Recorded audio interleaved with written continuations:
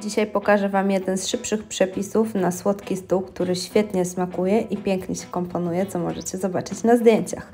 Jest tutaj użyte ciasto biszkoptowe lub babkowe, takie, które gdzieś tam skroiłam sobie z mojego ciasta, gdzie robiłam to do czegoś innego.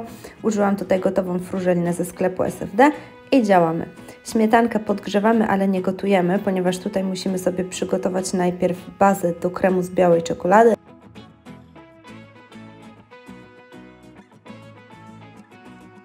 Kiedy śmietanka będzie już dosyć mocno podgrzana, wyłączamy palnik, dodajemy białą czekoladę, całość mieszamy do jej rozpuszczenia, a następnie studzimy.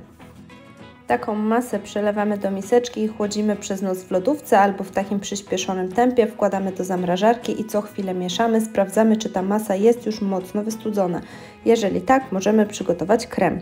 I tutaj naszą bazę wkładamy do misy robota, dodajemy mascarpone i całość ubijamy na sztywno.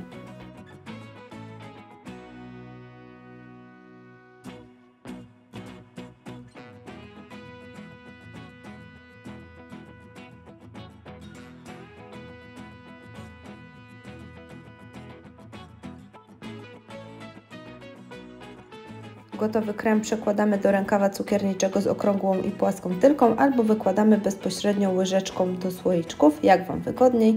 Ja tutaj użyłam rękawa cukierniczego, następnie na spód słoiczków wyciskam część kremu.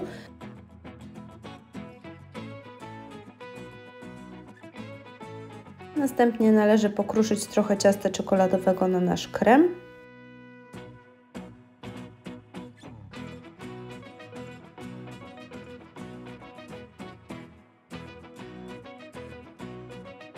Kolejno wkładam po łyżeczce frużeliny wiśniowej do naszych słoiczków na ciasto czekoladowe.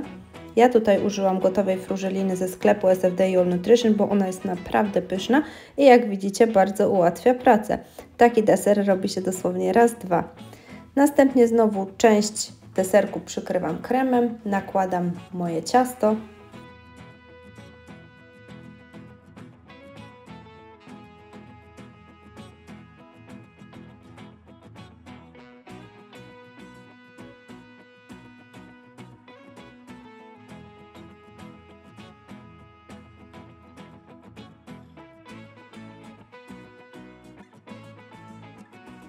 Truskawki przed podaniem kroję sobie jeszcze na mniejsze kawałki i pryskam je żelatyną w sprayu, żeby ładnie się świeciły i żeby zachowywały długo świeżość.